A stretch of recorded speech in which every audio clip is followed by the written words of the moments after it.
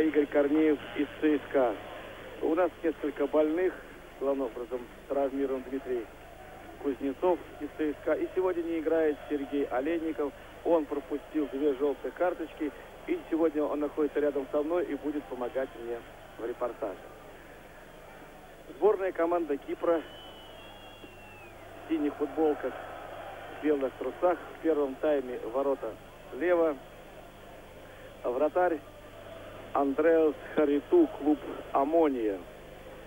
Второй номер Костас Коста, клуб Апоэль. Харламбас Питас, номер три, клуб АПЛ. Костас Константину, клуб Амония, четвертый номер. Пятый номер Авраам Сократус, клуб АЛ. Шестой номер Неофитис Ларку, шестой номер Апоэль. Сейчас посмотрим, как наши футболисты выполнят угловой удар. Разыграли. Шалимов. Еще один удар попыткой, еще один, а первый удар. Еще удар, мяч летит рядом со штангой. И едва Чернышов не подправил мяч от ворот. Начало неплохое, ну, слушайте дальше состав сборной команды Кипра. Христос Калиантрис, номер 7. Восьмой номер э, Паплюс Салва. Восьмой Девятый номер капитан команды, хорошо, наверное, знакомый поклонникам столичной команды «Спартак» Георгий Давидис. Он выступает за греческую клубу «Аис». Десятый номер Янус Иоанну и одиннадцатый номер Мариус Харламбус. Сегодня команду возглавляет вот первый его матч новый тренер Андреус Михайлевич. Такой не очень молодой, дух среднего возраста, очень честолюбивый тренер. Судейская бригада из Шотландии. Вот ее состав. Главный арбитр Эндрю Уодл, судьи на линиях Леон Мотрам и Майк Фоксов. Итак, 0-0. Матч сборной команды. Наверное, вы удивляетесь, что не видите зрителей. Все зрители по небольшого стадиона. Вот смотрите, как это стадиона расположен на одной трибуне. Вмещает эта трибуна 8 тысяч, сегодня тысяч шесть, что очень много считают для этого э, стадиона присутствует на трибунах. Ну а в основном ну, попадают в кадр такие вот крутые земляные валы, напоминающие э, велотрек. Ну, вы табличку видели, я вам говорил. 11 очков у нашей сборной. Столько же, но не больше, может при стечении каком-то обстоятельств набрать лишь сборная команда Италии. Ну, если итальянцы выиграют два оставшихся матча, кстати, в это же время они сейчас проводят матч команды Норвегии, ну, а наша вот круг трех. Только тогда придется считать забитые и пропущенные мячи.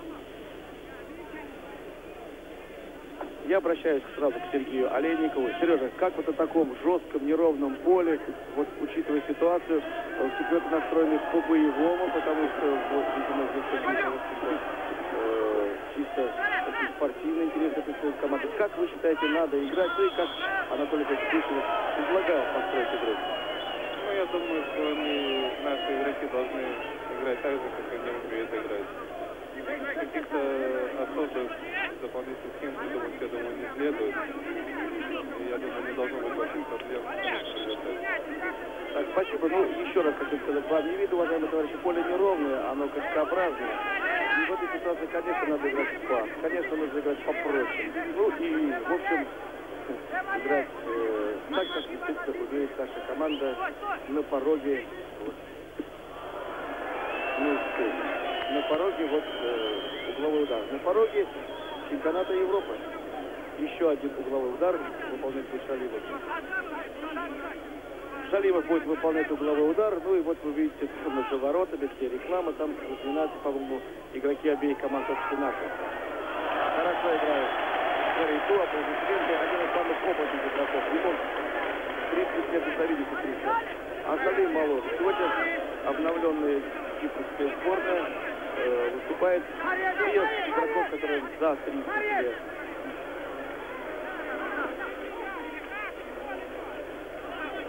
Погода здесь влажность. Очень хороший днем, 25-26 градусов, тихая, теплая погода, э, море теплое, вода 22 примерно, 21 градус. Э, светло, яркое солнце, но вот часов 5, знаете, гаснет свет, как будто наступает темная-темная ночь. Ну, хотя освещение хорошее, вы видите. Связи с тем, что не играет Сергей Олейников, я вам такую э, небольшую раскрою тактическую тайну. Сегодня на месте центрального защитника играют Чернышов и а вот на месте Сергея Олейникова, нет, э, Кузнецов и Чернышов, а на месте такого опорного полузащитника играет Свейба. Ну, вы знаете, что он иногда играет и в киевском «Динамо» в этой позиции. Итак, из-за боковой выводят мяч хозяева поля. Десятый номер это Иоанна. Ну и мы видим угловой удар у ворот нашей сборной.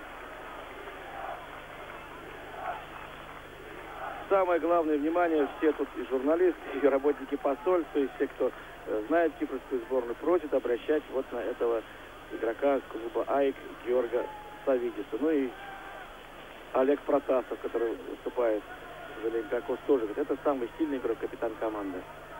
И так он и выполняет угловой удар. Как-то выпрыгнул неожиданно наш вратарь. Э, Харин отбил одной рукой. И, в общем-то, положения вне игры нет. Много атакуют футболисты сборной Кипра. Длинная передача. Хотел сказать, трибуны оживились. Нет, трибун нет. Потому что одна трибуна оживилась, будем так говорить.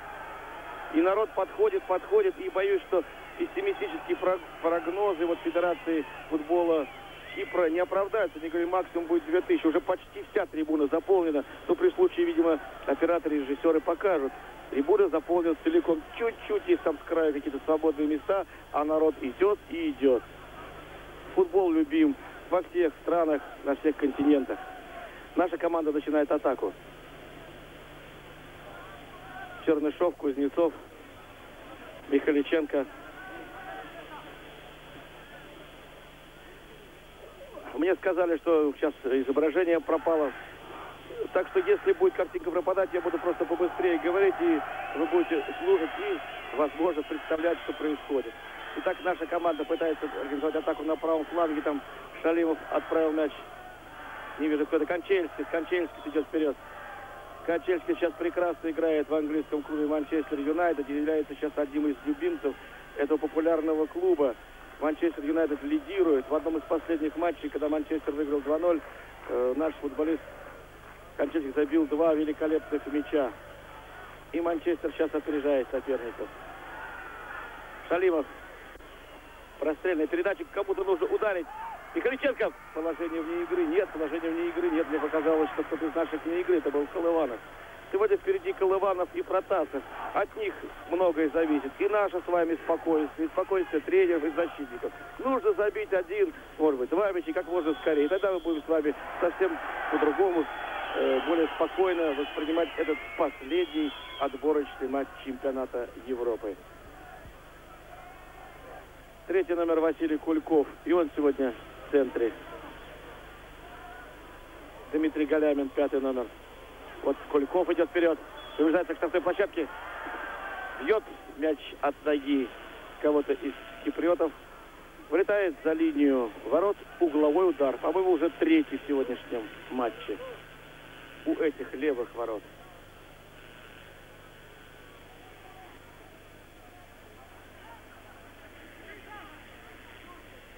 Итак, справа угловой удар. Мяч высоко летит Удар не сильный удар. Бил Олег Протасов не очень сильно.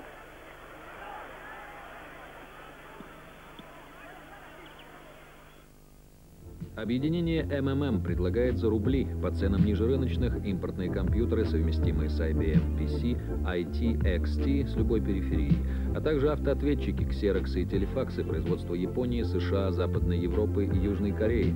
Адрес Москва, Газгольдерная улица, 10.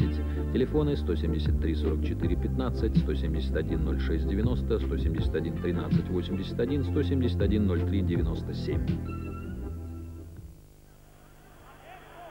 12 минут до первого тайма, пока 0-0. Наша команда довольно-таки спокойно, хладнокровно э, ориентируется на поле. Вот в середине поля несколько передач. Довольно-таки жестко играют киприоты. Я думаю, сегодня будет, э, вот так часто мы увидим жесткую игру в том случае, если наши футболисты будут передерживать мяч и вот давать возможность входить в соприкосновение соперникам.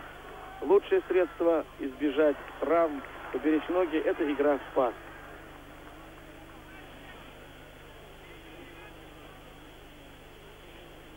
Одиннадцатый номер – это Харламбус. Сегодня здесь, помимо зрителей, есть, как говорится, и профессиональные э, футболисты, спортсмены, которых вы хорошо знаете. Ну, Тимур Кицба, играющий за один из клубов, э, находится здесь. Вот чуть ниже находится и Володя, Владимир Гуцаев, который является вторым тренером одной из команд Кипра. Вот повтор, повтор атаки сборной команды Советского Союза вам показывают. Но пока идет борьба в центре поля. Я думаю, что вы хорошо разобрались уже, э, кто у нас на каком месте играет. И пока вот в этом в начале игры атаки наши пытаются строить больше правым флангом.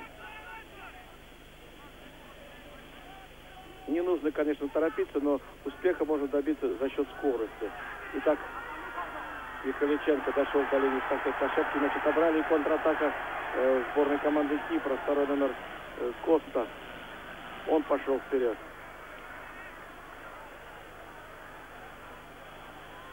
Вы понимаете, команде Кипра, которая не набрала ни одного очка, терять нечего, она играет на своем поле, можно приобрести только аплодисменты, эмоции, призы, награды, если сыграет команда успешно. Не говорю результат, просто покажет, покажет хорошую игру вот таким соперником, как сборная СССР.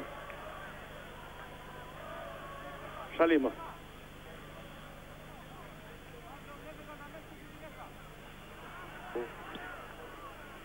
Поле не очень широкое, и, конечно, здесь хорошо использовать фланги.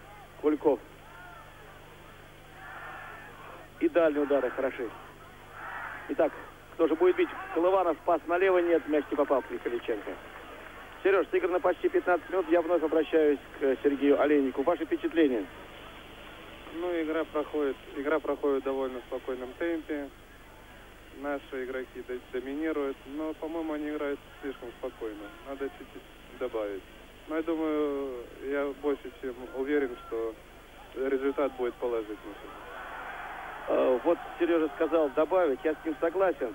Вы знаете, здесь главное найти золотую середину. Не надо, конечно, бояться э, киприотов, они, конечно, классом ниже.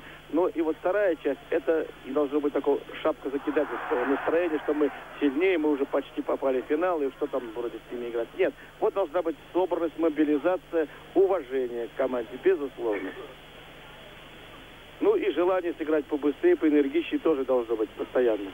Колыванов все время там здесь Протасов меняются местами, пытаются перехитрить трех защитников, которые э, находятся рядом с ними, возле них. Два персональных защитника прикрывают наших нападающих. И один, один это третий номер Питас, он свободы центральный защитник.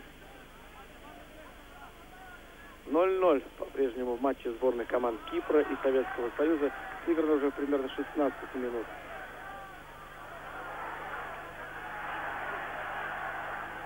Отлично играет Каливанидис, седьмой номер. Смотрите, как он хорошо пошел по флангу. И из-за боковой уже наши был футболистом владеть мяч.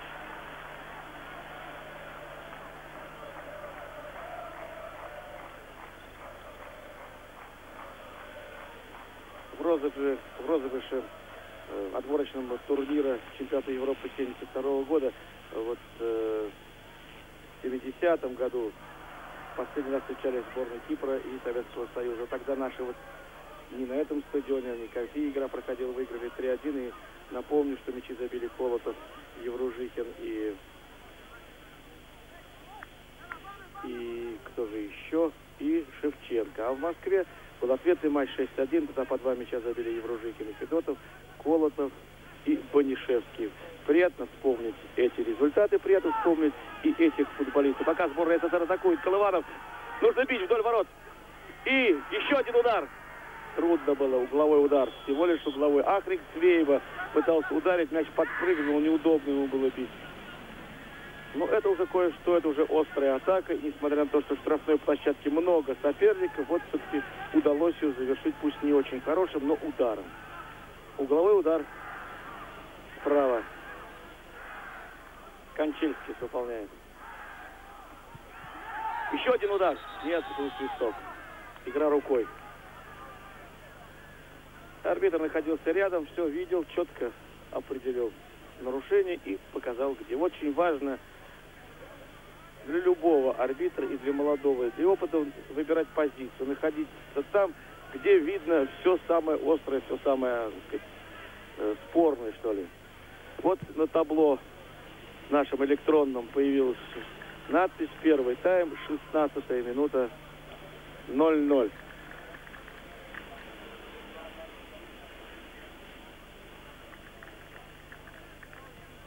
Вот даже вы видите, когда мяч э, вроде должен скользить, он подпрыгивает, подпрыгивает, и трудно его остановить, трудно играть такой комбинационный футбол. И кто-то упал из наших игроков. Колыванов упал, и тут же наша медицина, я смотрю, Зураб Орджоникидзе, доктор команды и один из массажистов, их двое. Владислав Беньков и Михаил Насибов – они готовы тут же выйти на поле и оказать помощь. Неплохо наши комбинируют, неплохо. Вот еще кому-то досталось. Вновь арбитр просит. Теперь Михаличенко нуждается в помощи. Сереж, еще, я обращаюсь опять к, к Сергею Олейникову, еще несколько рекомендаций. Если бы вы сейчас на поле были, вот смотрели, что бы вы, может быть, подсказали, вы опытные футболисты, партнеры более молодые? Самое трудно отсюда давать какие-то рекомендации. Я думаю, там э, достаточно игроки э, Михаличенко, Кузнецов, Протасов. Они сами найдут, что надо делать в данную минуту. Ну вот эти дальние удары, наверное, нужно чаще применять, может быть. Потому что не так просто входить в штрафную площадку. И сегодня, в общем-то, наверное, непростое положение у нашего вратаря Дмитрия Харина. Ему почти не, не в игре находится, редко вступает в игру. Итак, длинная такая навесная передача к линии штрафной площадки.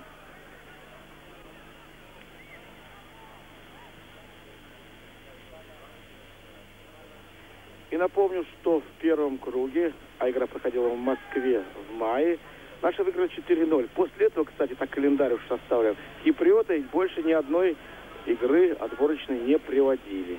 Так что у них подряд получилось два матча со сборной командой Советского Союза.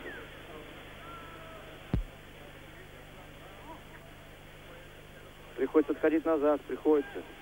На пятках, есть такое выражение, сидят соперники, но не сидят, тут рядом находятся.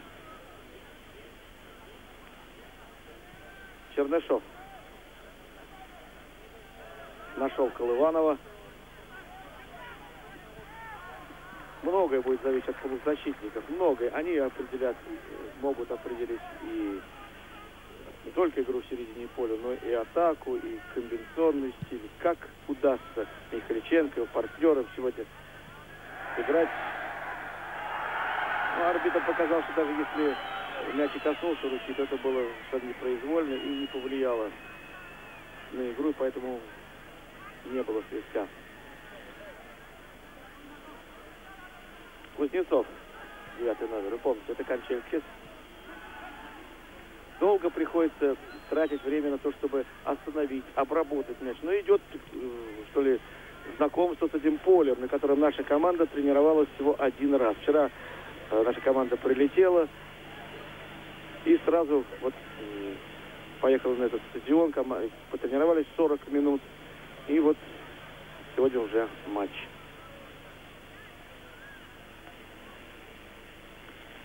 Пока 0-0. Напоминаю, вы смотрите футбол из кипрского города Ларнака. Я вам назвал стадион, называется новый гимнастический клуб «Зенон». «Зенон» — это вот основатель древней Ларники. Никто здесь не может вспомнить, в каком году этот самый Зенон организовал, но память о нем жива. И вот этот стадион носит вот такое, может быть, совсем обычное имя. Гимнастический, гимнастический зал есть, но вот Киевский клуб, видимо, популярен здесь. Шалимов. Протасов. Еще дальше передача. Кульков. Можно бить, можно бить, можно бить поворотом. По штрафную площадку нет, там целая стена из игроков в синих футболках. У линии штрафной. И я хочу отметить, что у сборной Кипра не очень высокие защитники. Может быть, есть смысл, я спрашиваю, обращаюсь к Сергею Леонидовичу, может быть, есть смысл и верхом направлять, ведь там Протасов может выиграть борьбу. Ну, по-моему, с киприотами лучше играть в одно-два касания. Тогда они не будут успевать перекрывать, и у нас будет больше возможностей э, использовать голевые моменты. Ну, пока проходит, еще раз говорю, ознакомление с, э, с этим полем. Не так часто приходится нашим командам играть в таких, таких полях. Не, у нас уже нет таких. Раньше бывали поля всякие, сейчас уже в основном все-таки поля ровные. И за боковой Кончельский будет выводить мяч.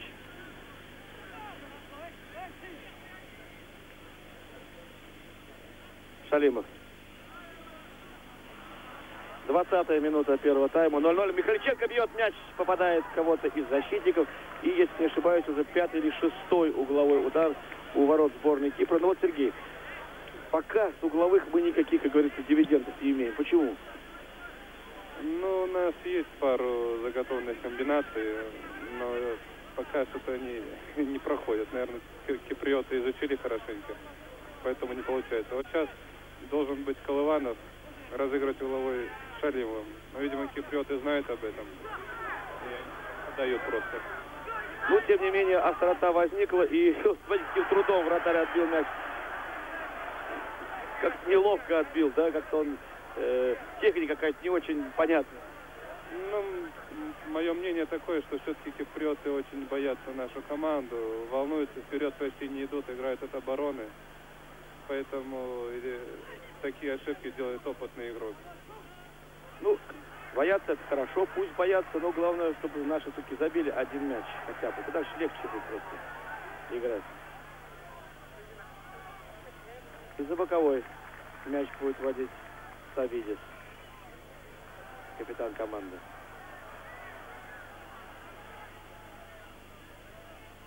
Харламов.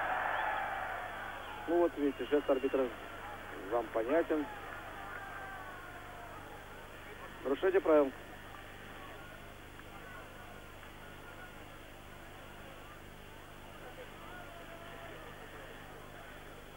Калиантрес. Мяч к штрафной площадке. Так уж получилось, что в этом турнире киприоты два мяча забили и 20 пропустили. Причем два мяча забили они не у себя на своих полях. Они забили два мяча ворота венгерской сборной, выступая в Будапеште, когда венгры выиграли 4-2. Вот длинная передача в вторую площадку. Шалимов вот находился между двумя нападающими. И арбитр показывает, что мяч ушел от ноги нашего игрока. Второй угловой удар у ворот сборной команды Советского Союза. Наша команда в этом турнире 10 мячей забила и 2 пропустила. Итак, смотрим угловой.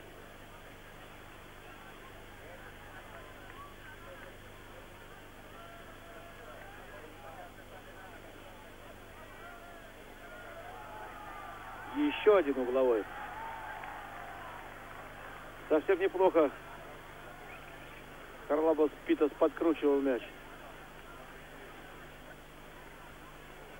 Ну, вот видите, вот мне Сергей подсказывает, что Шалимов немножко нервничает, другие углового не было, мяч ушел от ноги вроде бы соперника. Ну что тут, говорится, ерунда, что там из-за этого. Ох, какой удар, ох, какой удар. Мяч-то подкручивался теперь в верхний угол ворот. Это удар, после которого все могут несколько минут, даже не секунд отдыхать.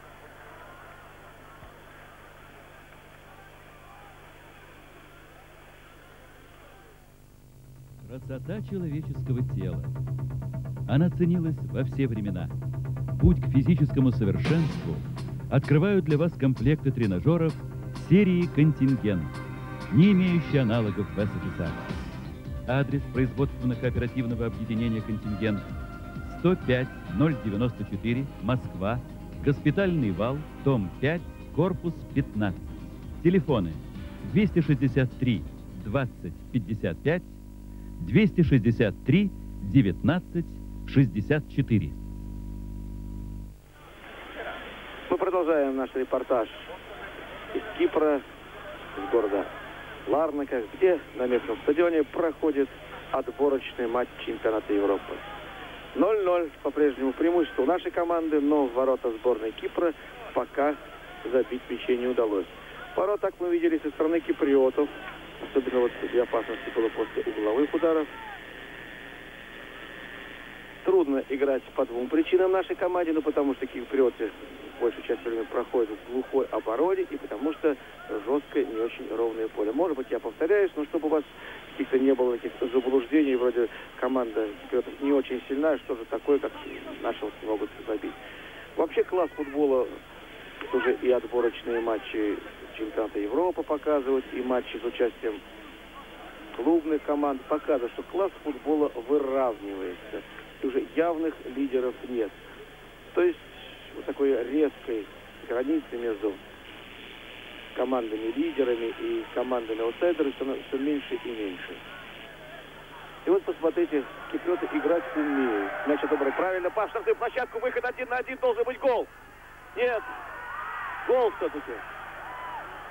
Так, ваш комментарий Сергей Протасов забил? Да, гол забил Протасов. Ну, комбинация, что значит играет до конца. Колыванов украл мяч у защитника и дал пас на ход Протасу, и Протасов осталось только забить мяч, что он и сделал. Да, мне тоже казалось на секунду-другую раньше, что должен быть гол, хотя Протасов и в борьбе э, шел. Но отдадим должное, потому что сейчас нам повтор покажет, я не знаю. Э, отдадим должное Колыванову, который вступил в борьбу. Давайте еще раз посмотрим. Вот здесь хорошо видно. Вот, смотрите, что значит нападающий, который умеет отбирать мяч. Он вступил в отбор, вроде не свое дело, можно было и не бороться. И дальше великолепный пас. И хорошо откликнулся его партнер по атаке Протасов. Удар был достаточно силен, вратарь Хариту не смог э, четко сыграть. И 0-1 Протасов, 0-1. Сборная команда Советского Союза выигрывает. Ну и сразу я вам скажу, что Олег Протасов самый лучший снайпер в нынешней сборной. Он сейчас забил свой 29-й мяч, а сегодня он проводит 68-ю игру. Вот еще раз показывают нам повтор э, этой атаки. Вот давайте еще раз посмотрим. И нарушений не было, согласитесь, Олег, правильно, все было четко, жестко сыграл Колыванов. И молниеносно стартовал Протасов. Он опередил э, игрока, который все время его преследует, Константину, на метр, на два. И хорошо еще Протасов плечо ставил, прикрывая мяч. В общем, 1-0.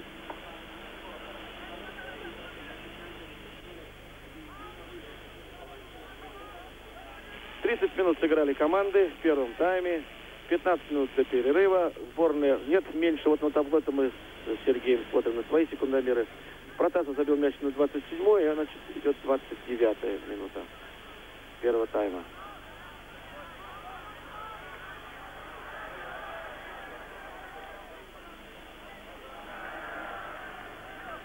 Еще одна попытка приблизиться к воротам нашей сборной. Свейба выбил мяч за боковую линию. Калиантрес седьмой номер, и он достаточно активен, и мы его здесь видим. Еще одна передача в вратарскую площадку. Дмитрий Харин, несколько забытый своими чужими игроками, но вступил в игру, и попытка атаковать правым флангом. И есть возможность приблизиться к воротам Кончельских. Было мало соперников, ну что ж, вот этот пас в какой-то степени помешал дальнейшему развитию атаки. Не точный пас. И Михаличенко руками открыл, а, подтолкнул соперника.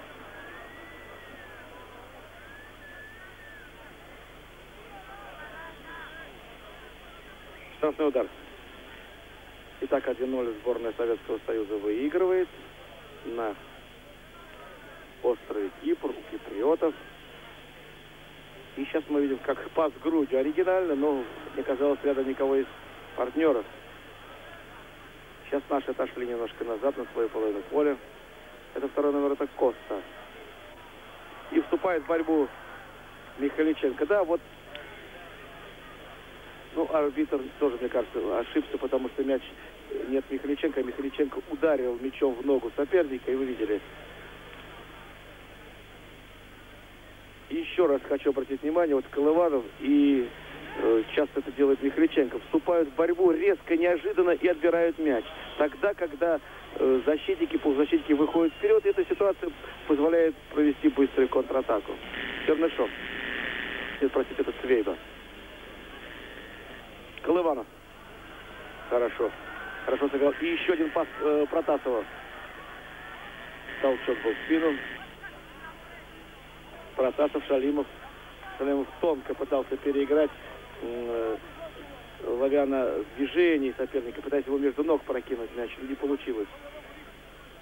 Шалимов, безусловно, один из самых таких тонких, техничных игроков нашей сборной. Ну и вот на таком поле не так просто показать достоинство своей техники. Наши окружили штрафную площадку. И мяч вот отводится назад, чтобы немножко рассредоточить оборону. Опять не, не очень точный пас. И пришлось Михаличенко, вот видите, опять чаще других Михаличенко э, демонстрирует хорошую игру в отборе. Куликов. Можно ударить было оттуда. Можно ударить под правую ногу и удар должен быть. Уже трудно. Уже трудно. Сам себя загнал э, в трудное положение, что ли, Куликов. Можно было отправить мяч налево, там было несколько соперников. Константину. Кузнецов хорошо разобрался в ситуации. Свейба.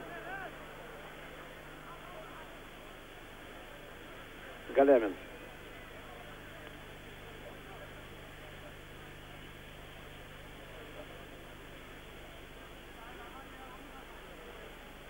Несколько поперечных передач. Левый фланг свободен, конечно, лучше перевести игру сюда.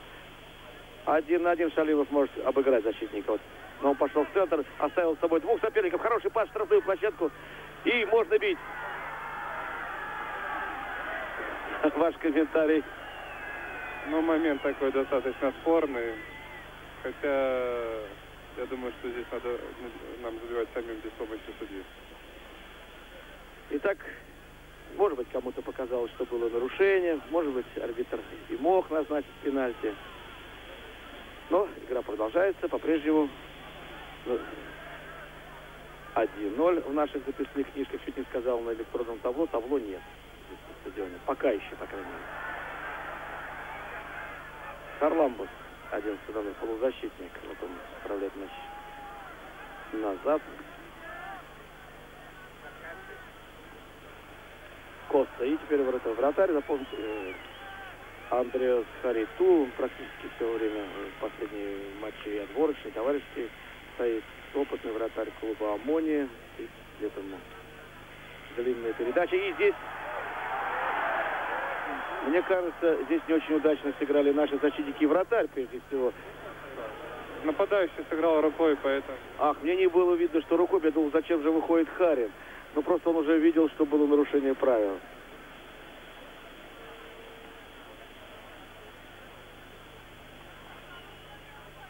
Свейба часто меняется местами с Кузнецовым. И когда Свейба находится в средней, э, простите, э, в линии обороны, то Кузнецов уже на должности полузащитника, в роли полузащитника. Чернышов, Свейба.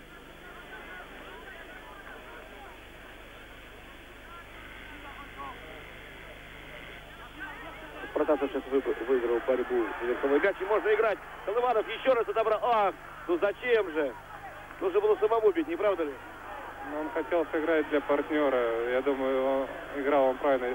Единственное, что отдал мне очень хорошо. А так он играл по игре. Ну, вообще, вот посмотрите, какая ситуация возникает. Лучший снайпер первенства. Колыванов. Один раз играет на партнера и тот гол забивает. Вторая возможность, он вышел один на один, и вновь он не жадничает, а ищет своего партнера Протасова. Но мне показалось, что все-таки он мог сейчас и сам ударить и забить.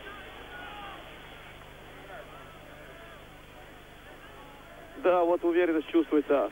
Чувствуется и у Протасова. Вот еще раз посмотрим. И опять отдаю должное нашим футболистам отдадим в отборе мяча. Опять Колыванов хорошо сыграл.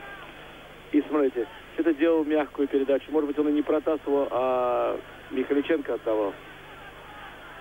Колыванов.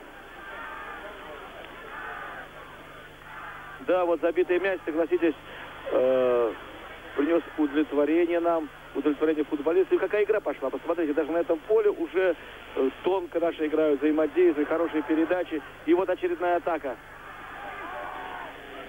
Мяч выбит. Штрафной удар.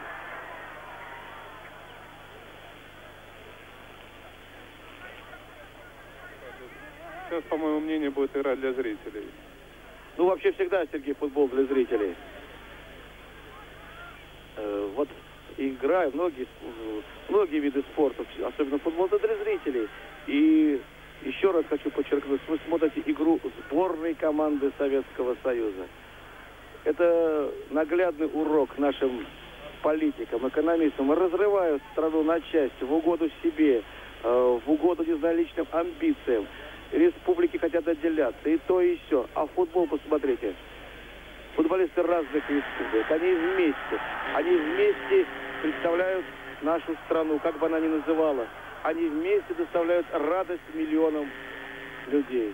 Ну вот и хотелось бы, чтобы люди, которые стоят у рулей власти всевозможных, брали пример вот с этих парней, которые, э, несмотря на то, что живут в разных городах, в разных странах, вместе защищают честь своей страны. И это не громкие слова. Это истина. Это то, что нужно нашим людям. Колыванова оттолкнули, он отбросил мяч. И партнеры, поэтому атака продолжается. Еще дальше пришлось. По-прежнему 1-0, мяч забитый на 27-й минуте Протасовым. Один, единственный пока, но команда Советского Союза, сборная команда, продолжает атакующую комбинационную игру.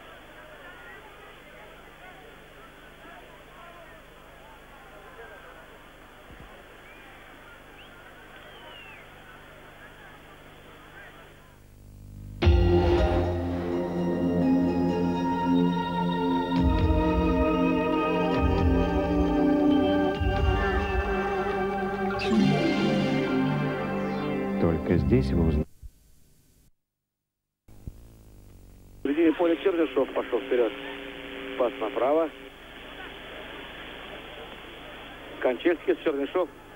Чернышов сегодня однажды, вот вы увидели, как хорошо неожиданно оказался из чужих ворот. Ну и, конечно, Сергей, вы тоже помните в предыдущем матче, какая была у вас комбинация, когда э, Чернышов не забил гол. Ну, вот этим, наверное, э, для болельщиков интересен футбол, что бывают моменты, казалось, некуда деваться. Для наших болельщиков было огорчительно, для болельщиков Италии это было приятно, что Чернышов не забил такой стопроцентный мяч. Комбинация была хорошая, и э, если бы даже ворот, то это был, безусловно, претендент мяч на звание лучшего гола в нашем футбольном. Красный удар. Карин кулаками. И правильно. Лованов пришлось отойти назад. Протасов.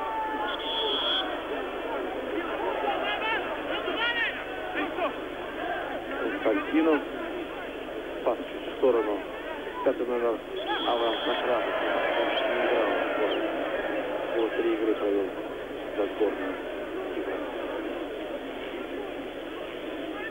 Подходит к концу первый тайм. Прошел с преимуществом нашей команды, которая осталось около пяти минут, мне кажется. Задействовал солидно, хладнокровно, четко. И мяч был забит один, и еще несколько атак было красивых, удары были. Я думал, что во втором тайме, после перерыва, наша команда может развить свой успех. И напомню, что в резерве нашей сборной, помимо вратаря Черчесова, Дмитрий Попов, Сергей Юран, Александр Мостовой, Игорь Корнеев.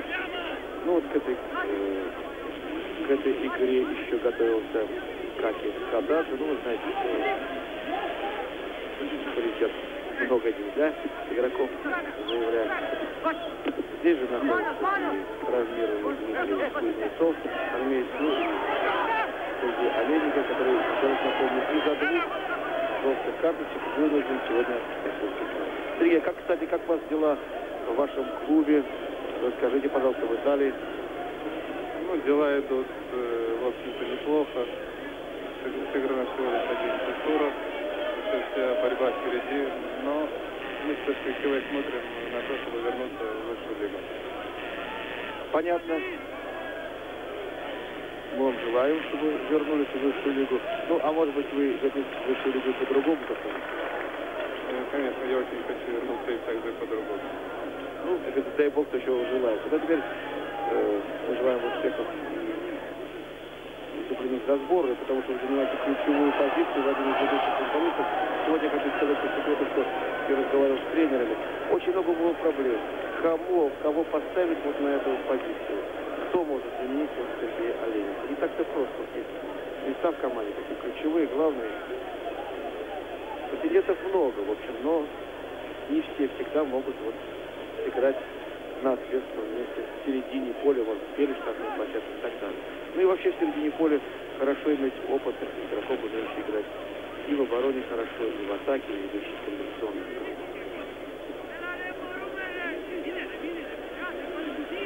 Чернышов.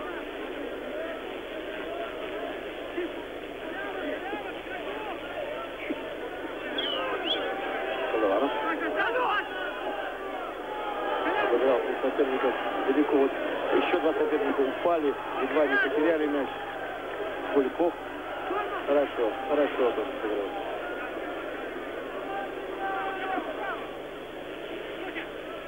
Красиво, красиво, но вот Олег Кузнецов пошел вперед. Ему не удалось войти в штрафную площадку и вновь кому-то из наших требуется помощь. Павел эпизодов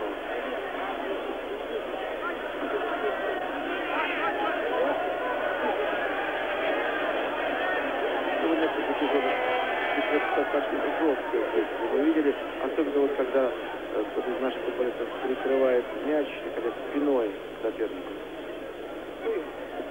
Длинная передача и Кончельский готов был, э, получив мяч, пойти в штрафную площадку. Ну, напугал он, по крайней мере, соперника. Все выбили мяч за боковую линию. И... А Колыванову здесь у кромки поля оказывает помощь.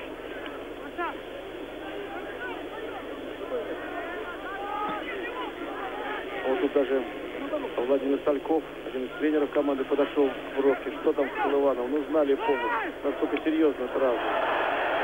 Контратака сборной команды Кипра. Пелиантры. Часто он тут э, остро играет на фланге. Правда, как правило, один, а одному совсем не просто и войти в штрафную площадку, приблизиться к воротам. По-прежнему наша команда играет десятером. Колыванов оказывает помощь. И атака сборной СССР. Протасов входит в штрафную площадку. И угловой удар. Арбитры смотрят на секундомер. Наверное, что-то около минуты осталось. Может быть, одна-две.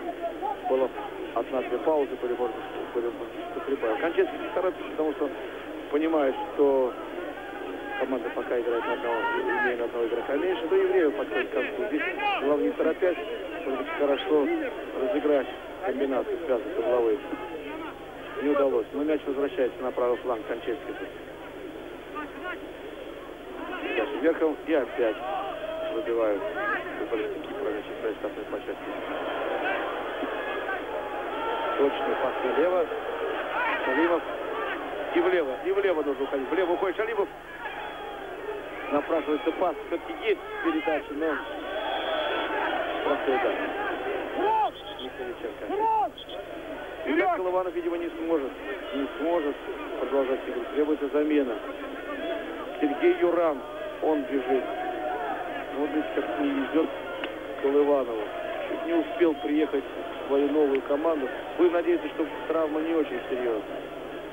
Может быть, и поэтому еще э, вот сейчас предлагают ему не мучиться, а вот отдохнуть. Может получить разумную, доступную помощь. Первая замена в нашей сборной Колыванов, получив травму, покидает поле, вот там на лавочке садится, и готовится Сергей Юран, представляющий Лиссабонскую Бенфику. Сейчас выйдет на поле вот в самом конце первого тайма. Успеет ли? Посмотрим. Нет, не успел. Видимо, видимо, замена будет уже во втором тайме. Напоминаю, что мяч был забит единственно на 27-й минуте. Команды идут отдыхать, а мы предлагаем вам посмотреть рекламу. Отбор. Уважаемые товарищи, мы продолжаем репортаж Кипра, города Ларнака. Здесь сегодня на стадионе новый ГСЗ, новый гимнастический клуб «Зенон». Проходит наша сборная, сборная команда Советского Союза по футболу, проводит свой последний отборочный матч чемпионата Европы. Вот сегодня и все станет ясно. Финале наша сборная или нет. Ну, практически мы сами все знаем, что наша сборная должна быть в финале и по игре, и по очкам. Ну, вот, тем не менее, матч команды Кипра с не очень сильной командой. Ну, побеждать надо и сильных, и не сильных, вкладывая, как говорится, силы. Через минуту-другую начнется второй тайм встречи. Первый тайм, кто видел, тот помнит, как развивались события. Кто не видел, тот пусть посмотрит сейчас. Вот так был забит единственный мяч. На 27-й минуте Игорь Колыванов вступил в борьбу, отобрал мяч и сделал хорошую передачу Олегу Протасову. А тот ударил низом в точно. Но у Колыванова была еще одна хорошая возможность забить мяч. Он также хорошо ассистировал. Но больше мячей забито не было. Пока вот вам показывают повтор этой атаки. Еще один повтор. Я хочу сказать, что в конце игры э, Игорь получил травму. Вот со мной рядом Сергей Олеников. Сереж, вы не знаете, там вы не были внизу, какая серьезная травма? Нет? Сергей Олеников сегодня не играет из-за того, что получил в предыдущем матче желтые карточки. Конечно, наверное, травма не очень серьезная. Так что на последней минуте вместо Колыванова вышел Сергей Дурак. Его на футбол 14 минут. Итак, составы команды. Сборная Советского Союза в светлой форме, э, ворота слева. Вратарь Дмитрий, Дмитрий Харин. А в обороне у нас постоянно было ну, 3-4 защитника. Восьмой номер Кончельский, пятый номер Галямин. В центре обороны в центре обороны девятый номер Олег Кузнецов и второй номер Андрей Чернышов. Полузащитники сборной команды СССР. Василий Куликов номер 3, Африк Клейба номер 4. Защитник сборная Кипра атакует. И штрафной удар сейчас сторону наших ворот. Происходит Довольно опасно. Ну, пока вы смотрите, я вам все расскажу состав нашей сборной. Игорь Шалимов, шестой номер Михаличенко, седьмой капитан. Михаличенко, седьмой номер капитан команды. Ну и в нападении играли Улыванов и Протасов. Теперь Протасов остался у на футболке. Десятый номер вышел Сергей Юран, представляющий Пинсику Лисапон. У него 14 номер. И очень такая серьезная ситуация у наших ворот. Разыгрывают подставочки Кипра удар. Не получилось. Сбил центральный защитник Питов. И теперь состав сборной Кипра. Вратарь Пареньков. В обороне второй номер Коста, третий Питов, четвертый Костас Константинов, один Константинов, это фамилия, Йорка с в запасе. Э, полузащитники Сократов, пятый номер, хотя он больше играет в обороне. Восьмой номер Славу, девятый капитан команды Савидис, это уже нападающий, собственно, один впереди. А чуть сзади находится шестой номер Ларку, десятый Иоанну и седьмой Калиантру. Главный тренер Андреас Михайлович. У нас главный тренер Анатолий Пышевец, его помощники Владимир Сальков, Игорь Гаджиев, студентская бригада из Шотландии. Простите, сборная СССР атакует. Удар от ворот. Эндрю Одал, судья в поле. Лео Мотрам и Мат Попкок, судьи на линии. Делегат УЕФА, или, как мы говорим, комиссар, э, господин Шнайдер из Федеративной Республики Германии. Совсем недавно он был делегатом УЕФА на матче сборной команд Советского Союза и Венгрии. Ну и все о фамилиях, о цифрах. Теперь несколько слов о первом тайме. Наша команда играла хладнокровно, уверенно, на тяжелом жестком поле и имела преимущество, хотя два-три раза э, и киприоты атаковали. атаковали. Э, параллельно в этой же минуты проходит матч, который нас волнует, матч сборных команд Италии и Норвегии, соперников по третьей группе европейской. После первого тайма ничья 0-0. Ну и вот еще информация о других матчах. Только что Гарри Линникер мне сообщили. Забил ответный мяч. Ворота э, второй тайм. Ворота сборной Польши. Счет стал 1-1. Ну и вот команда Турции проигрывает, по-моему, команде Ирландии 1-3. 1-3 уже ирландцы. В общем, такая ситуация, что англичане еще могут и не попасть. Много тут еще не ясно в разных группах. Как только у меня будет поступать информация, коллеги, журналисты и кипрские, вот они сообщают, будут сообщать эту информацию. Борьба в середине поля.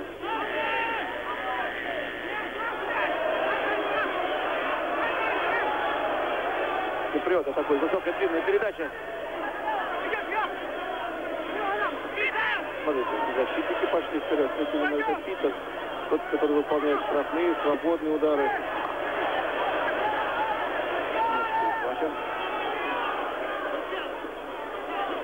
Анчельский. Ну и несколько слов о том, что было перед игрой. Причем, кстати, уважаемые товарищи, и эта игра, трансляция этой игры была под вопросом. Все было вроде нормально. Э, знаете, положенную, наша студия «Спорт» положенную сумму заплатила телевидению местному. Все было в порядке. Но вот сегодня президент Кипрской федерации футбола говорит, э, если вы не заплатите Кипрской федерации определенную сумму, там 12 тысяч долларов, то не будет этой трансляции. И тут, знаете, приняли участие в том, чтобы заплатить, в том, чтобы была трансляция уже все. Мы заняли в Москву, в Москве предпринимались всякие меры.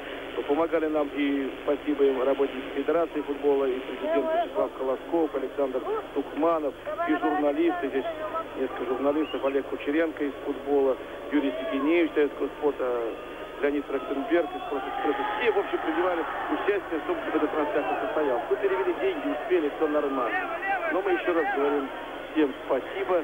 Ну и еще хочу сказать, что Федерация футбола 19 числа после наших приглашений собирает у себя Федерацию я бы сказал, конференцию, совещание, где будут представители клубов, представители нашей редакции российского телевидения, Федерации футбола для обсуждения этой проблемы. Как там будет дальше, что делать, как чтобы трансляции были всегда.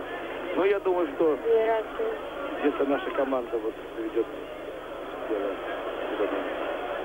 до конца, то мы, наша редакция студии «Спорт», с вашей помощью будем искать деньги, чтобы транслировать финальные матчи чемпионата Европы. Стоит э, эта трансляция немало, 800 тысяч швейцарских франков. Все трансляции, да.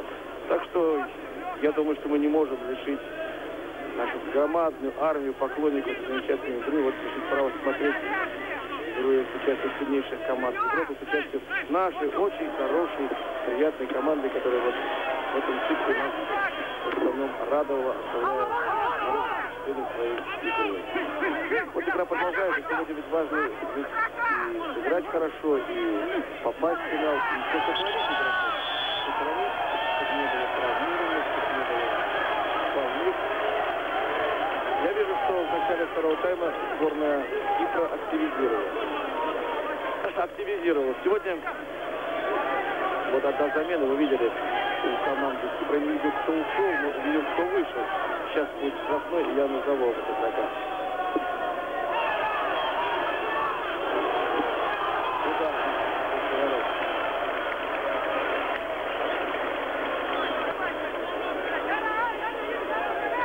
В команде Кипра появился Андрей Сафарио, 14 номер. Рядом со мной находится он из тайма командовый репортаж Сергей Олейников. Я к нему обращаюсь. Что случилось во втором тайме? Почему так активно заиграли чемпионы? Как вы думаете? Ну, я думаю, что им, видимо, терять, терять нечего, и они хоть с кем-то порадовать и заполнил полностью весь стадион. Только этим я могу объяснить. Наверное, наверное, это, это не самое, так сказать, плохое, что ли, самое хорошее, что пришли порадовать, захотели порадовать болельщиков, которые сегодня удивили, поразили местную публику. Здесь полного стадиона давно не было. Иначе на матче участвуют сборных и клубных команд. Итак, сборная Кипра атакует правым флангом. Ахмед Свейба выбивает значит, направо, но он оказывается вновь у киприотов. Седьмой номер Калиатрис нос. Он и в первом тайме был заметен. И киприоты атакуют большими силами, но я думаю, что это дает возможность нашей команде сыграть хорошо на контратаках. Теперь впереди рядом с Протасовым техничный и быстрый Юран. Он, действует в ином стиле, чем Колыванов. Колыванов подходил в первом тайме часто назад, выполняет критические функции. Ну, а Юран, футболист, который умеет и любит завершать атаки. Ну, посмотрим. Пока по-прежнему 1-0 в пользу нашей команды. Не было близко партнеров. Итак, секреты забыв или не забыв, но просто умышленно оставив мысли об обороне, идут большими силами. Я смотрю, Анатолий Бышевец поднимается со скамейки. Ему это не очень нравится. Это и нам не очень нравится. И я думаю, что э, как-то надо изменить характер игры. Может быть, подольше поддержать мяч, ну а может быть, сыграть поактивнее на чужой половине поля. Кузнецов. Юра на мяч никак не попадет. Сейчас завис и защитник перехватил. Вот Юранов отходит назад.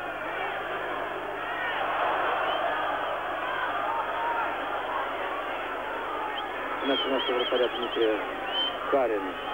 И напомню, что сегодня у нас еще в резерве Попов, Мостовой, Корнеев и Черчесов. Еще наша сборная может провести одну замену. Галямин.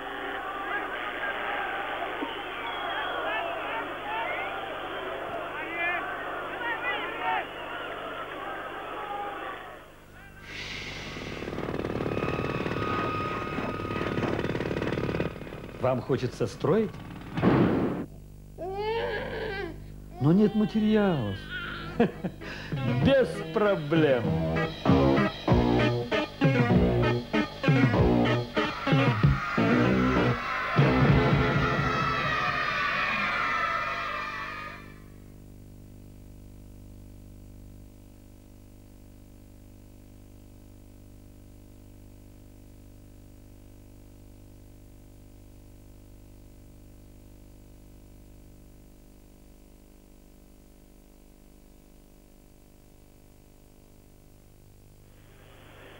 Продолжаем репортаж. Из Ларнаки сборная команды Советского Союза пыталась атаковать, не получилось. А тут мне дали информацию. Закончились матчи сборной команды Польши и Англии. Ничья 1-1. Турецкие футболисты сюда на поле проиграли команде Эвери. 1-3. Ну и судя по ситуации, по-моему, англичане вышли в чемпионат э, Европы финальной и поедут в Швецию. У нас 1-0, но игра несколько выровнялась, и азарт, и, может, не совсем подготовленные атаки команды Киприота вызвали оживление. На трибуне, э, трибуне, которая заполнена до отказа, 8 тысяч сидят плечом к плечу и болеют за свою команду.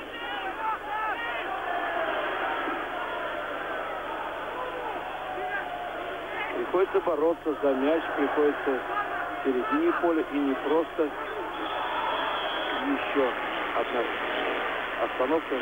И опять наша медицина тут же бросается к бровке. И причем рядом, сейчас, может быть, увидите, и Анатолий Федорович Бышевец. Он что-то говорит игрокам. Я не знаю, Сергей, я обращаюсь к Олейнику опять. Что сейчас может говорить наш тренер игрокам?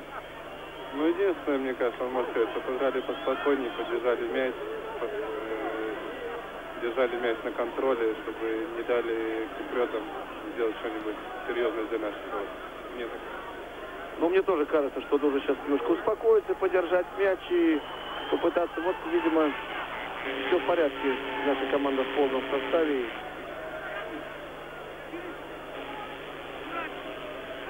Чернышов.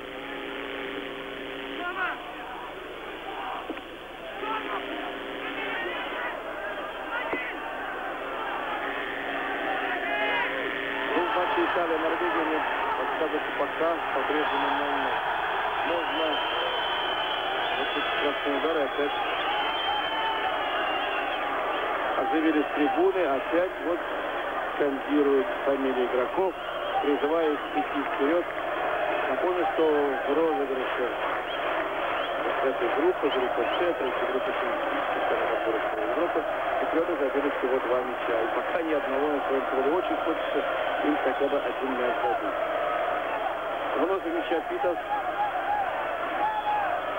Стенка. Из четырех игроков Николиченко в сторону него там борьба за выбор позиции проходит площадке. Вы видите, как перемещаются игроки, как наши защитники стараются не упустить их. Питас отбрасывает мяч направо. Удар, мяч летит выше ворот. И арбитр показывает, что Карин задел мяч. Бил Паплов Сава. Угловой удар.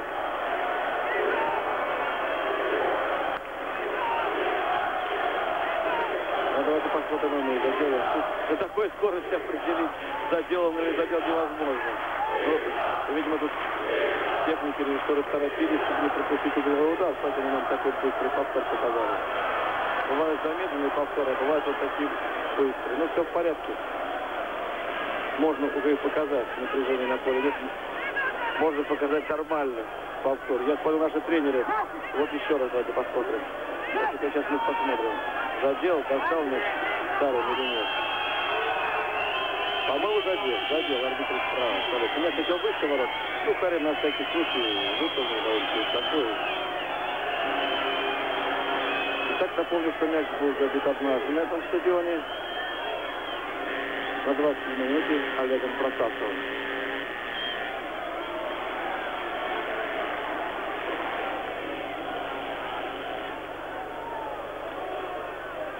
Хорошая тихая погода.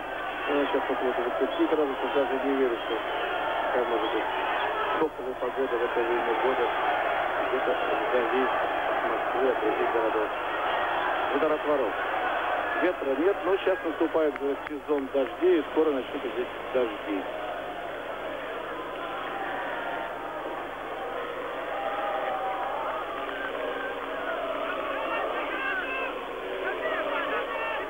Это показали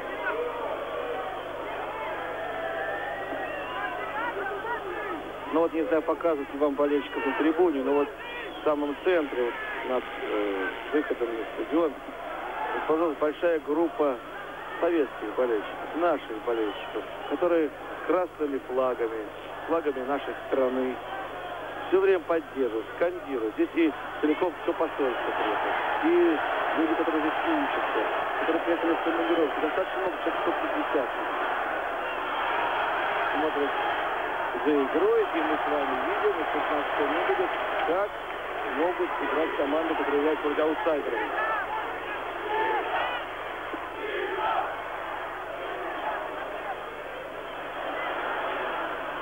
Ну и еще хотел подсветить болельщиков. Был. Команды Киприот. Они скандируют, поддерживают команду, но ведут себя очень дисциплинированно, аккуратно, уважительно и к командам, и к соперникам, и к футболистам. И самое главное, уважительно друг к другу. Но болеют, конечно, переживают, видите, скандируют. Вы слышите реакцию трибун?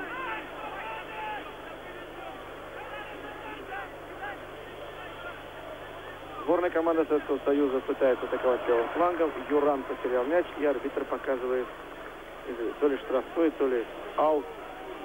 Пока Юран никак не может получить мяч. Вот не может показать свои достоинства. Дриблинг хороший, скорость. Вот он. Крючок промахнулся. Пришлось отойти назад. Шалимов. Куликов. Хороший пас слева. И Количенко. Мяч на штрафную площадку. Протасов отходит назад. Мяч к нему не попал. Галямин. Кузнецов отбрасывает еще дальше. Чернышов. Ну что, Это, э, может быть, неправильно. Нужно и мяч подержать, оставить соперников, как говорится, на голодном пайке. Ну и разрядить обстановку чужой штрафной площадки. Уж очень много там футболистов в синей форме. Не просто пробиться. Киприоты пока не покидают, не очень охотно, даже скажем так, покидают свою половину поля. Один лишь футболист Иоанну на нашей половине поля, остальные, зацепившись уже за среднюю линию, там, центральный круг, так и стоят, ожидая, когда же наши придут к ним с мячом. Галямин. Кульков. Чернышов.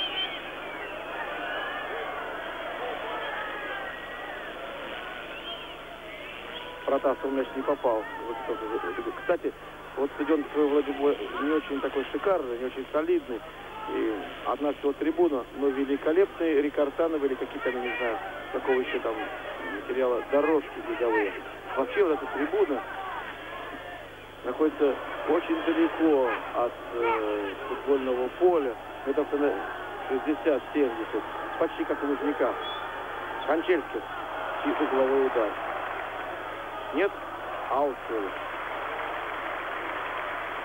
Красивые эти красные дорожки, как в Лужниках. И трибуна расположена очень далеко от э, футбольного поля. Тут еще такой глубокий ров есть, еще зеленая травка, тут э, дорожка для прыжков, а потом беговая дорожка. После некоторых раздумий Кончельский решил пойти в штрафную площадку. Галямин бросил. И арбитр пенальти не дает. Ну вот, интересное сообщение для нас с вами.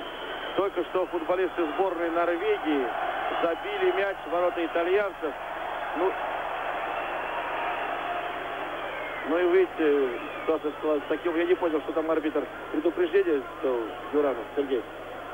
Я упустил этот момент, но мне кажется, что арбитр дал просто... За разговоры. А может быть и за стимуляцию. Вот э, Сергей Олейников не подскажет, что за стимуляцию.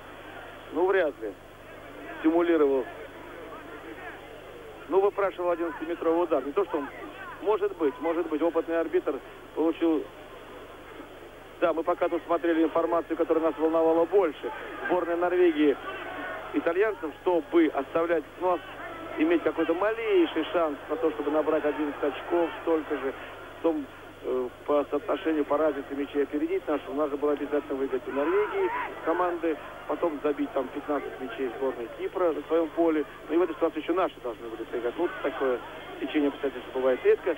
Тем не менее, выигрыш команды Норвегии ну, практически уже исключает всяческие варианты. То есть сборная команда Советского Союза, ну, будем сейчас говорить, если была до этой игры на 90% Швеции, сейчас уже Протасов забил мяч, и вот норвежцы уже на 99%. Ну, 100% еще нет.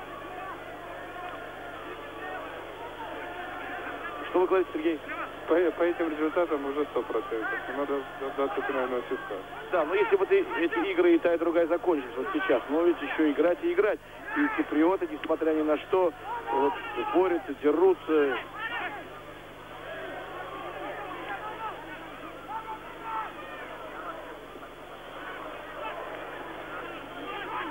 мне рассказывали, что здесь очень интересный футбол э, в матчах чемпионата Кипра. Команды примерно равны по силам, и много зрителей ходят на матчи чемпионата страны. Вот город Ларнага, он не очень большой, там 70-80 тысяч зрителей, но любит футбол и с удовольствием вот наблюдают матчи чемпионата Кипра.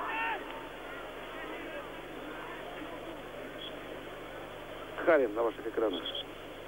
22 минуты сыграно во втором тайме, то есть половина тайма позади. По-прежнему 1-0 наша команда выигрывает. И я смотрю, один из администраторов, что ли, команды Сергей Хусаинов предлагает кому-то из футболистов кому-то из футболистов снять Александр Мустовой сейчас, видимо, вступает. Александр Мустовой, я вам скажу, что не совсем здоров. И когда я спрашивал Анатолий Федорович пишется, кого он будет ставить, это прежде всего футболистов, которые абсолютно здоровы. Конечно, Мостовой, если был бы здоров, не было у него там последствий травмы, вот, который получил он в игре с Киевским Маяком. Наверное, играл бы и в стартовом составе. Может быть, или после штрафной удар наши будет выполнять, с штрафной площадки.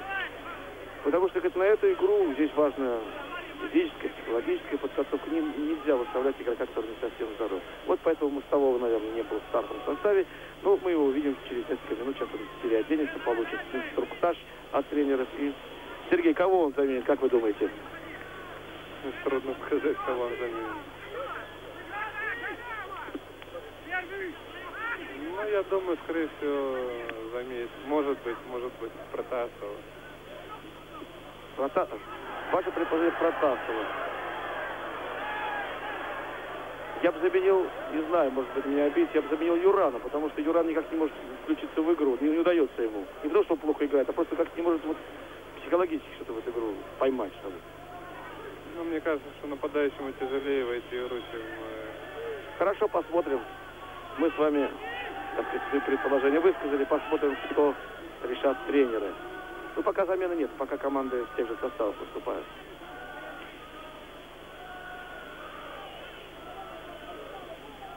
Хорошая комбинация. Галямин сейчас был сбит где-то у угла штрафной площадки, штрафной удар.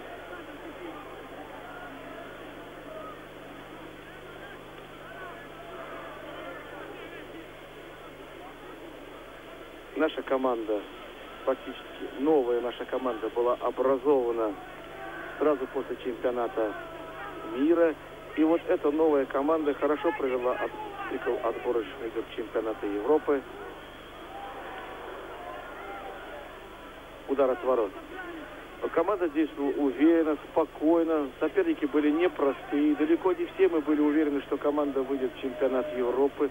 И вы помните, итальянцы, венгры, норвежцы. Думали мы, что итальянцы, которые неплохо выступили на чемпионате э, мира, будут главными соперниками. Но оказалось, что наша команда сильнее. Действовала по-разному наша команда. Но изменилось лицо сборной. Изменился климат, психологический климат. Наша команда стала показывать хороший, разнообразный футбол. И уже сегодня мы можем сказать им спасибо. Спасибо игрокам, которые играли. Ну и спасибо руководителям. И пока еще есть время, я хочу назвать те, кто, те, кто руководил командой. Итак, Александр Мостовой меняет Олега Протасова. 1-0 в пользу сборной и один в нашем споре с Сергеем Олейниковым. Олейников выйдет в счете. Больше замен не будет. Мы, может быть, с вами поспорим, когда будут менять э, игрока в команде. Итак, сегодня большое спасибо тренерскому совету Анатолию Бышевцу, Владимиру Салькому, Гаджи Гаджиеву. Большое спасибо медицине, врачу Журабу Орджоникидзе, э, массажисту Михаилу Насибу и Владимиру Пенькову, Сергею Хусаинову, администратору команды, ну и руководителю делегации Александру Тухманову, нашего президента Вячеславу Колоскову. Команда доставила нам много приятных минут. Уходили команд, игроки в разные клубы. Это составляло определенные трудности. Уходили, но они получали задания. Они получали задание играть не так, как они играют в клубах. Ну, не, не то я говорю. Они, э, они получили задание играть и готовиться так, чтобы не потерять э, то, что им здесь прививалось.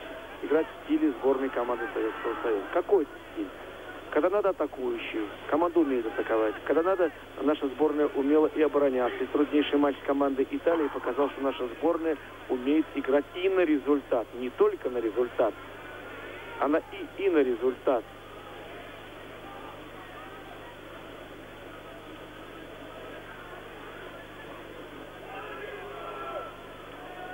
Сейчас сборная СССР атакует левым флангом. В резерве у наших тренеров много интересных игроков, которые сегодня находятся на скамейке запасных, и те, которые выступали за молодежь, за олимпийскую сборную. В общем, я думаю, что преемственность поколений важна. И еще хочу отметить, ведь впервые, ну не впервые, э, за последние годы, за долгие годы у нас сборную мы Качалина такого не было. У нас сборную возглавил освобожденный тренер, который не берет и не брал за основу игру какого-то клуба, брал за основу игроков какого-то клуба. Разные игроки и сборные имеют свое лицо, не похожее на игру Спартака, там не очень сильный удар. Динамо Киевского или другой команды.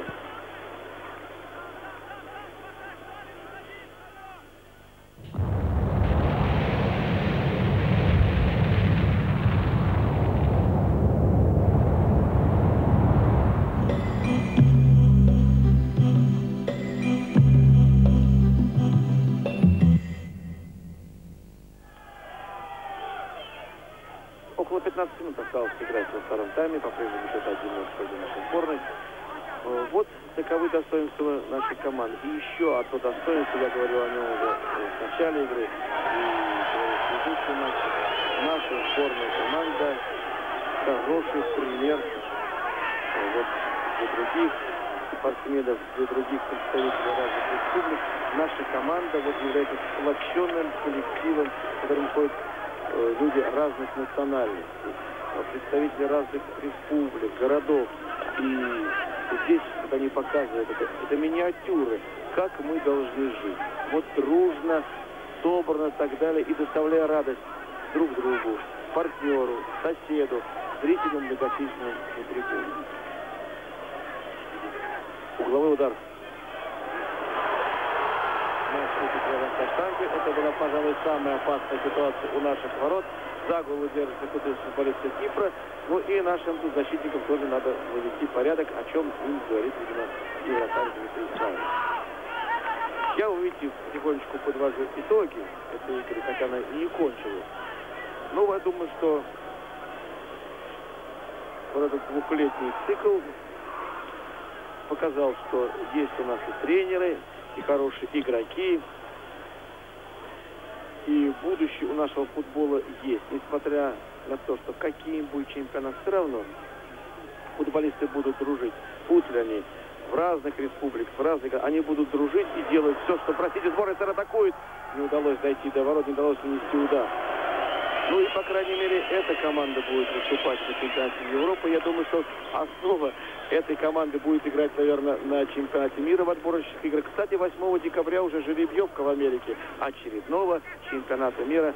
А я спрашиваю у Сергея Олейникова, кого сейчас будут менять 13 номер игрок? Какого игрока, как вы считаете? Я уже видел седьмого номера. А Сергей сознался, что он видел, что меняют седьмого номера. Итак, аплодисменты. Ну, видите, Хаджи Лукас вышел, 13 номер, и он заменил Калиандриса. А у нас по-прежнему 1-0. Борьба в середине поля.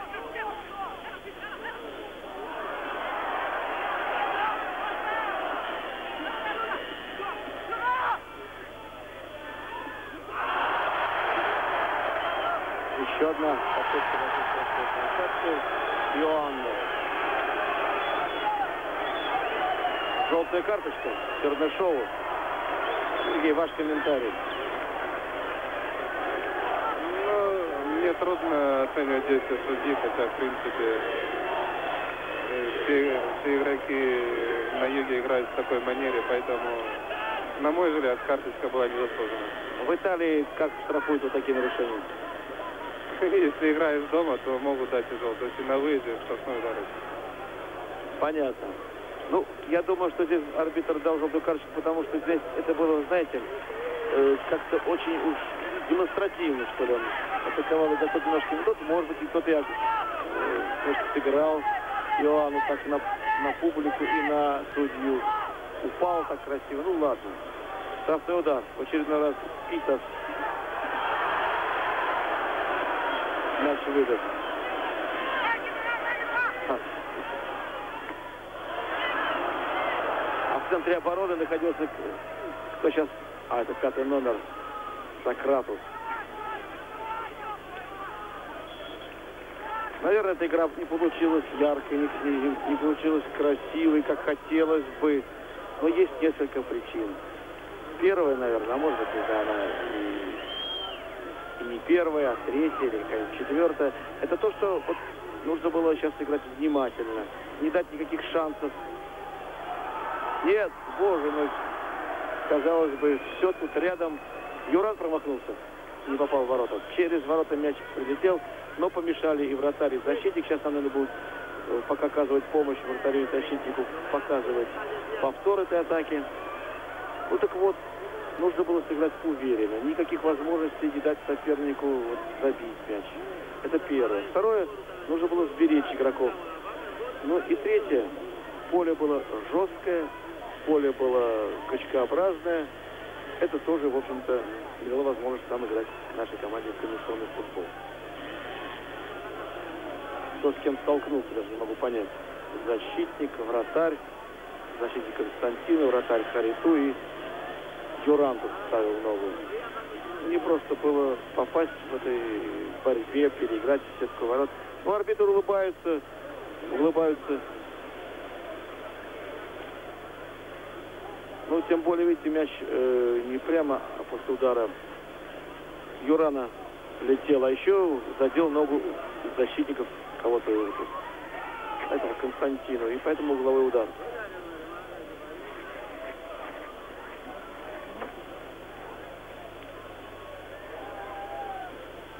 Сейчас мне дадут команду, и я, извините, буду говорить в два раза быстрее, потому что для радиослушателей «Маяка», которые, как мы говорим, подключаются к телезрителям многочисленным.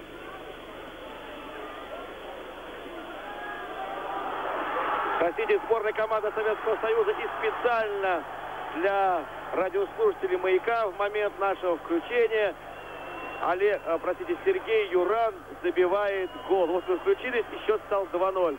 Сборная команда Советского Союза провела очередную красивую комбинацию и забил мяч, вышедший на замену Сергей Юран, примерно за 10 минут до конца второго тайма. Я веду репортаж из Кипра, из города Ларнака, со стадиона Новый ГСЗ. Здесь наша советская сборная проводит последний отборочный матч чемпионата Европы. На телевизионном экране повторяют второй, третий раз атаку и завершение. Сергей Юран, который в начале второго тайма он заменил э, получившего травму Колываду, он как-то не мог вписаться, долго никак не попадал в игру. Вот в эти последние 10 минут играет вдохновением, остро. Две минуты назад он мог забить мяч, но ударил выше ворот, примерно с этой же позиции. Теперь он ударил головой. Рядом со мной находится Сергей Олейников. Он помогает мне вести телевизионный репортаж. И, Сергей, для радиослушателей, э, вы видели всю комбинацию? Несколько подробнее об этом забитом мяче. Ну, комбинация была действительно очень красивой. Мостовой отдал прекрасный пас э, на левый фланг. Оттуда последовала передача в центр, и Юрла, Юранов завершил эту красивую комбинацию. После, причем, обратите внимание, и мостовой для радиослушателей – подчеркиваю, и Мостовой, и Юран вышли на замену оба. А первый мяч был забит на 27-й минуте Олегом Протасовым э, после отличного, отличной игры Колыванова. Колыванов отобрал мяч у защитника и сделал хорошую передачу. А сейчас телезрители наградили аплодисменты адреса Хариту, вратаря сборной Кипра. Он вышел, вышел, из, вышел за штрафную площадку и хорошо сыграл головой. В эти же минуты играют соперники Э, сборной СССР по отборочной третьей группе. Команды Италии и Норвегии. И мне сказали несколько минут назад, что норвежцы выигрывают по 1-0. Ну и практически вопрос о победителе, о финалисте. Победитель этой группы решен. Сборная команда Советского Союза, де юре, де факто, как угодно, э, финалист. И мы поздравляем нашу команду с отличной игрой, с отличным финишем. И опять сборная команда СССР э, Футболисты в белой форме выступают, атакуют. Сейчас Юран мог выйти один на один. Сначала замешкался, думал, положение вне игры. А потом защитники его настигли. Во втором тайме киприоты, забыв о защите, в первом тайме в основном оборонялись, сейчас все чаще и чаще атакуют. И поэтому приходится вступать и защитникам часто в игру, и вратарю Дмитрию Харину. У нас сегодня, в общем-то, обычный состав, если вы помните как наша сборная играл в последних матчах. Не играет Сергей Олейников, вот рядом со мной комментирует. Он сегодня, простите, сборная СССР атакует в очередной раз. Ворота пустые, вратарь вышел за пределы стартовой площадки, удар, гол! Дальний удар из-за штрафной площадки. Кто забил? Сергей Шалимов? Кончельский, простите, Игорь Шалимов был рядом, но забил Андрей Кончельский. Ну, для радиослушателей скажу. Атака, вратарь выбегает к линии штрафной, падает в ноги. Один удар, второй мяч отскакивает за пределы штрафной площадки. И Кончельский с дальним ударом опять э, вот радует нас, радует радиослушателей, телезрителей. Счет становится 3-0. Итак, напомню, Протасов, Юран, Кончельский забили три мяча. Вот мы еще раз смотрим на экране повтор этой атаки. Сергей, пожалуйста, ваш комментарий. Ну, здесь э, тоже последовала быстрая атака на ворота киприотов. Юран отдал великолепный пас Шалимову, но вратарь вышел на перехват и Кончестис отправил мяч в пустые ворота. Причем э, было не просто бить. Кончельский сбил в отрыве два защитника уже находились в воротах. Один пытался руками э, задержать, но не получилось. Удар был хороший. Вновь сборная СССР атакует правым флангом. Э, это Галямин сделал передачу. Устали киприоты в конце. Все-таки и класс сборной СССР, и подготовка складывается в конце концов. Еще раз мы смотрим, который раз. Ну, такое впечатление, что смакуют, смакуют режиссеры и операторы, и технические сотрудники, редакторы кипрского телевидения. Это третий забитый мяч, уже четвертый или пятый повтор. И зрители, которых сегодня 8 тысяч, полная трибуна, вся полна, она аплодируют, радуются. Ну, не, они не радуются, конечно, то, что команда проигрывает, но они и не рассчитывали на победу. А футбол наши показали хороший, достойный этого отборочного матча. Итак, запишите. 27-я минута Протасов 1-0, 79-я Юран 2-0, 83-я Кончельскис 3-0. И наши атакуют опять. Кульков сделал, э, простите, Мостовой сделал передачу Кончельскису, тоже штрафную площадку. Мяч на половине, впрочем, там почти все игроки на, пол, на половине сборной команды Кипра. Шотландский арбитр Эндрю Уодл. Это неплохо провел сегодняшний матч. Так посмотрел на судей, посмотрел на ситуацию. Ну, играть еще 5 минут примерно, если он не прибавил. Хотя паузы небольшие были. Сборная атакует, сборная СССР атакует левым флангом. Э, Михаличенко по штрафную площадку к 11-метровой отметке. Там вратарь Хариту раньше всех оказался у мяча. И бросает мяч направо. Питас, один из лучших игроков команды, центральный защитник. Он и часто уходил вперед. И штрафные, и угловые выиграл, и свободные. А сейчас мяч у нашего вратаря Дмитрия Сарина. Пас направо Чернышову. Чернышов сегодня и Кузнецов Олег в центре обороны. Ахек Цвеба играл вместе на месте полузащитника, а на месте Сергея Олейникова. Ну что ж, э, главную задачу этого турнира наша команда выполнила. Напомню, ведь одна команда каждой группы европейской попадает в финал. И наша команда достойно, успешно завершает этот нелегкий турнир. Ну и напомню, что завершились э, еще несколько матчей в других группах. Команда Польши и Англии сыграли ничью 1-1. Причем поляки выигрывали долгое время, где-то минут за 15 до конца матча. Ну, кто, вы думаете, забил? Конечно, это Гарри Линикер, Павлочка, выручалочка забил мяч. А вот футболисты Эйри победили в Турции хозяев поля со счетом 3-1. Нет пока результата матча сборных команд Италия-Норвегия, нет? Ну, видимо, видимо, по-прежнему 1-0 норвежцы выигрывают в Италии. Радиослушатели, наверное, этого еще не знают. И это практически уже э, расставило все по своим местам. Ну, может быть, еще пока не ясно, кто будет на там, втором, третьем месте. Но в этой группе важен, кто будет на первом месте. Сборная команда Советского Союза вновь атакует левым флангом. Длинная передача. Вратарь ловит. И арбитр покажет, что поймал он за линией ворот. И удар от ворот. Футбольный сезон наша сборная заканчивает, но не заканчивается еще футбольный сезон для наших клубов. Вы знаете, что киевские динамовцы и московские продолжают борьбу в европейских турнирах. Ноябре, в декабре они проведут очередные матчи. Так что еще, уважаемые товарищи, ну, кстати, будут еще матчи на Кубок Советского Союза.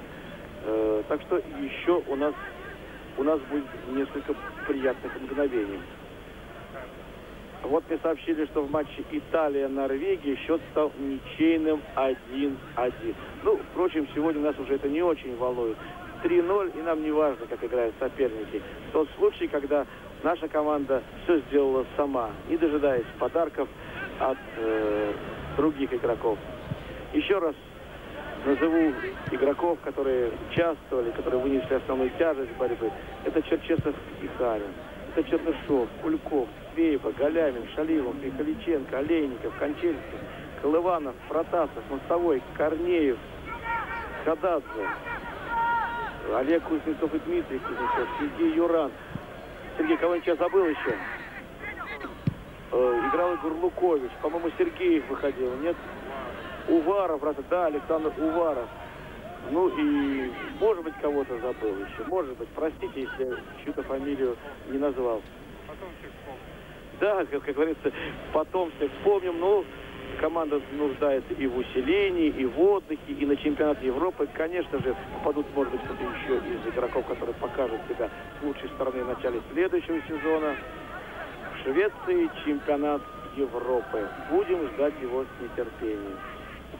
И посмотрите уже, какие команды там подбираются. Это, наверное, ну, прежде всего, команда Франции. Команда Федеративной Республики Германии, наверное, пойдет. Команда Англии, может быть, команда Голландии. Ну, в общем, чемпионат Европы иногда проходит интереснее чемпионат мира, потому что там нет слабых команд. Тут все восемь, как правило, сильны. Это мы с тобой.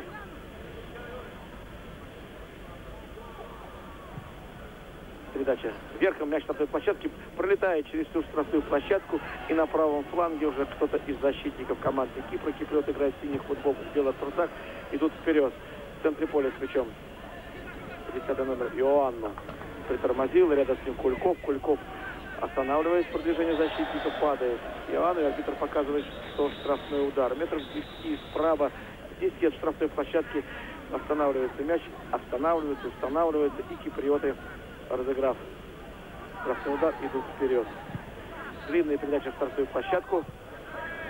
Оттуда мяч пытается выбить Кузнецов или кто это? Олейников. Кузнецов.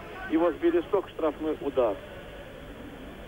Олег Кузнецов сегодня играет. Дмитрий, для радиослушателей, Дмитрий болен, поэтому сегодня нет его ни в резерве, ни в основном составе.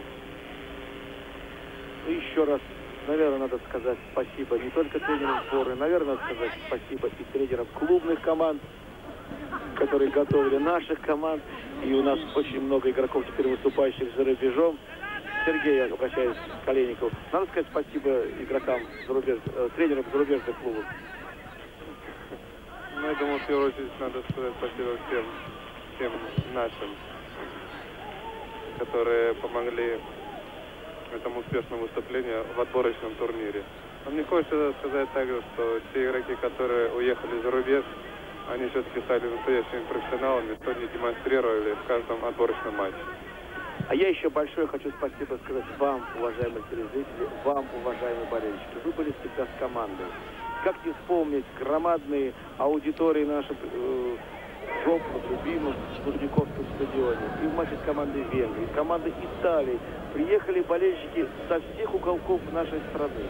Битком был забит стадион. Приехали поддержать, поболеть. Несмотря вот на нашу тяжелую жизнь, какие-то конфликты национальные, люди приехали из разных из разных городов поболеть за сборную команду Советского Союза. Такая команда существует, несмотря, может быть, нет Советского Союза в том понимании, которое было раньше, может быть. Но есть страна, которая объединяет людей, которые общие жизненные позиции, общие принципы, ну и которые любят футбол, любят спорт, любят прекрасное. Последние секунды последние секунды матча сборных команд Кипра и Советского Союза. Напоминаю, заканчивается матч в Ларнаке. Три мяча было забито нашими футболистами. Ну, в первом круге, напомню, в первой игре эти команды Селса в мае было 4-0. И вот едва не был забит еще один четвертый мяч. Правда, арбитры зафиксировали положение игры. Что ж, победа достойна. И в это время арбитр дает финальный выступ. Мы поздравляем еще раз наших футболистов. Мы поздравляем вас, уважаемые поклонники футбола, с хорошей игрой нашей команды, с выходом в финал чемпионата Европы.